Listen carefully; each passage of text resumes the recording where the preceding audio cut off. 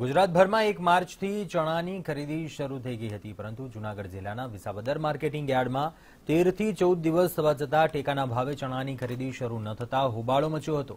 ભાજપના અંદરોઅંદરના વિખવાદને કારણે ખેડૂતો હેરાન પરેશાન થઈ રહ્યા હોવાનું જણાવી રહ્યા હતા. માર્કેટિંગ યાર્ડમાં ભાજપનું શાસન હોવાથી જગ્યા આપવાનો ઇન્કાર કર્યો હોવાનું તેમજ યાર્ડના ચેરમેને પોતાની સંસ્થાને મંડળીને યાર્ડમાં ખરીદી કરવાની મંજૂરી આપ્યા હોવાનું સામે આવ્યું હતું, જેથી ઓનલાઈન રજીસ્ટ્રેશન કરાવનાર છ હજાર ખેડૂતોને ટેકાનો લાભ મળ્યો ન હતો. આથી કોંગી ધારાસભ્ય હર્ષદ રીબડિયાએ ખરીદી શરૂ કરવાની માંગ કરી આંદોલનની ચીમકી આપતા તંત્રમાં દોડધામ મચી હતી.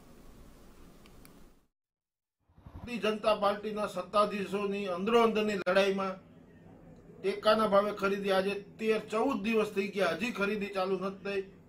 આની લડાઈમાં ખેડૂત પીસાય છે. ખેડૂતે સસ્તા ભાવે પોતાના ચણા વેચવા પડે આજે ખેડૂતને પૈસાની જરૂર છે. તો આજે ચૌદ ચૌદ દિવસથી ખરીદી ચાલુ નથી થઈ. મેં કલેક્ટરશ્રીને લેટર લખ્યો છે કે દિવસ બે ની અંદર જો આ ટેકાના ભાવે ખરીદી ચાલુ નહીં થાય, તો અમે ખેડૂતોને સાથે રાખીને જલદમાં જલદ આંદોલન કરશું આ ચૌદ કે પંદર દિવસ થયા ચણાને હરાજી ચાલુ છે, પણ આઠસો ને સાડા આઠસોમાં કપાય છે. અને અમારી કોઈ ખરીદીમાં માર્કેટિંગ યાર્ડમાંથી કોઈ ધ્યાન દેતું નથી ટેકાના ભાવે.